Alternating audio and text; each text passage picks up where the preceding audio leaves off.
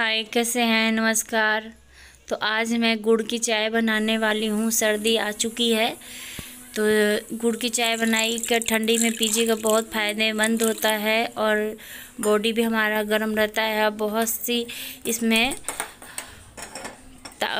ठंडी भी नहीं लगती है और सेहत के लिए अच्छा रहता है गुड़।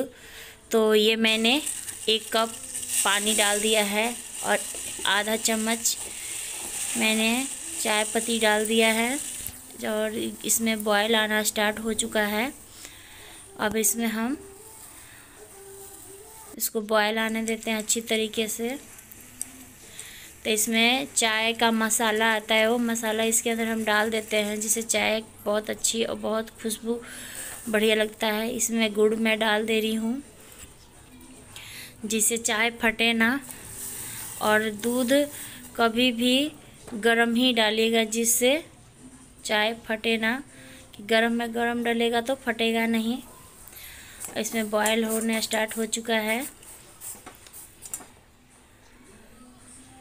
और बहुत बढ़िया और बहुत अच्छा लगता है चाय पीने में। सर्दियों को मौसम में सुबह सुबह तो और बढ़िया लगता है। चाय पीना सबको। तो मैं इस तरीके से चला रही, घूट ले रही हूँ जिससे गुड़ हमारा अच्छी तरह से मेल्ट हो जाए।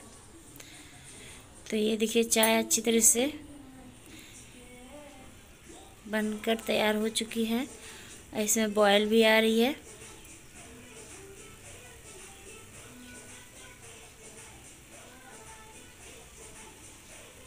तब आप इसी तरह चाय बनाइए और पीजिए और ठंड से बच के रहिए और इन्जॉय करी और साथ में मैंने ये नमकीन कुछ बनाया था। तो बनाइए।